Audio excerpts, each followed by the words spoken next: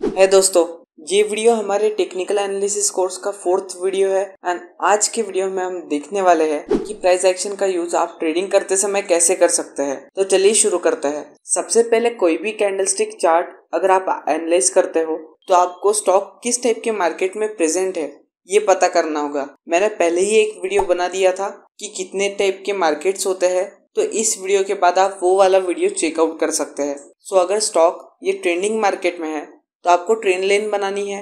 और अगर स्टॉक ये रेंज बाउंड मार्केट में है तो आपको होरिजोनटल लाइन ड्रॉ करके सपोर्ट और रेजिस्टेंस बनाना पड़ेगा। तो जैसे कि ये वाला स्टॉक एक रेंज बाउंड रीजन में घूम रहा है तो जब भी कोई स्टॉक अपने सपोर्ट को बड़ी मार्जिन से ब्रेक करता है तो वो सपोर्ट उस स्टॉक के लिए अब एक स्ट्रॉन्ग रेजिस्टेंस बन जाता है। सिमिलरली अगर कोई स्टॉक अपने रेजिस्टेंस को बड़ी कैंडलस्टिक के साथ ब्रेक करता है तो वो रेजिस्टेंस अब स्टॉक प्राइस के लिए एक स्ट्रॉन्ग सपोर्ट बन जाता है और फ्यूचर में स्टॉक का प्राइस जब भी उस रेजिस्टेंस के पास आएगा, वो वहाँ पे सपोर्ट लेगा। तो मान लीजिए, आपने एक स्टॉक को ऑब्ज़र्व किया है एंड अब वो स्टॉक रेंज बाउंड रीजन में घूम रहा है। तो जब तक वो एक रेंज में घूमते रहेगा तो आपको उसको सपोर्ट के पास बाय करना है। और रेजिस्टेंस के पास सेल करके प्रॉफिट कमाना है। एंड जैसे ही वो स्टॉक अपने सपोर्ट या फिर रेजिस्टेंस को ब्रेक कर देगा बड़ी कैंडलस्टिक के साथ तो आप उसमें बाइंग या सेलिंग की पोजीशन ले सकते हैं। अगर स्टॉक अपने रेजिस्टेंस को ब्रेक करता है तो आपको उस स्टॉक के अंदर बाइंग की पोजीशन लेनी है और आपका स्टॉप लॉस जो होगा, वो स्टॉक के रिसेंट रेजिस्टेंस के जस्ट थोड़ा नीचे होगा। एंड सिमिलरली अगर स्टॉक अपने सपोर्ट को ब्रेक करता है बड़ी कैंडलस्टिक के साथ तो आपको सेलिंग पोजिशन लेनी चाहिए। एंड मैं, आपका जो स्टॉप लॉस है वो रिसेंट सपोर्ट के जस्ट थोड़ा सा ऊपर होगा, जो उसने अभी ब्रेक किया है। अब कभी कभी क्या होता है स्टॉक अपने रेंज को ब्रेक कर देता है, लेकिन आपको दो या तीन दिन बाद पता चलता है कि स्टॉक ने अपने सपोर्ट या रेजिस्टेंस को ब्रेक कर दिया है।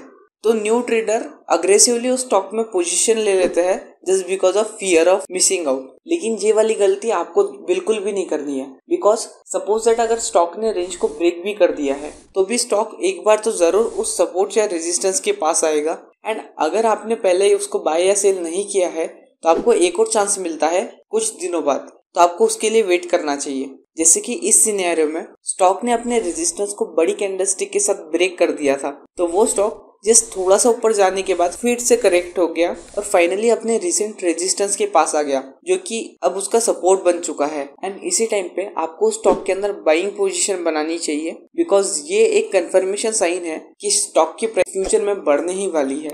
अब ये तो हुआ कि आप रेंज बाउंड रीजन में प्राइस एक्शन का यूज़ करके ट्रेडिंग कैसे कर सकते हैं। बट वॉट इफ़ कि अगर स्टॉक ट्रेडिंग मार्केट में हो तो तो अगर आपको ट्रेंडिंग मार्केट में कोई भी स्टॉक दिखता है तो सबसे पहले आपको एक ट्रेंड लाइन बनानी है सपोर्ट और रेजिस्टेंस की। एंड फिर आपको हमारे रूल्स फॉलो करने हैं। फ़र्स्ट रूल होगा कि स्टॉक को सपोर्ट पे बाय करना है और रेजिस्टेंस पे जाते ही उसको सेल कर देना है। सेकंड रूल है कि ट्रेंड रिवर्सल किसी भी स्टॉक में तभी होगा जब वो अपने सपोर्ट या फिर रेजिस्टेंस को ब्रेक कर देगा बड़े मार्जिन से।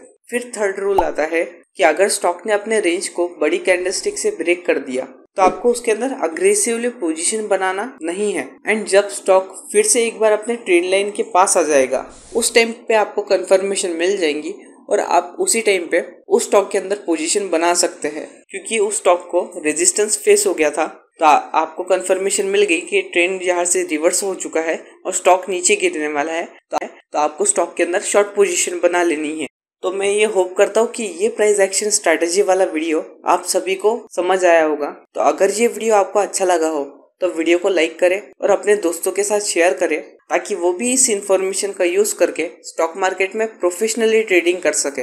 और चैनल को अभी सब्सक्राइब कर लीजिए, ताकि आने वाले टेक्निकल एनालिसिस कोर्स के वीडियोस आपको सबसे पहले देखने मिले। तो मिलते हैं नेक्स्ट वीडियो में, तब तक के लिए गुड बाय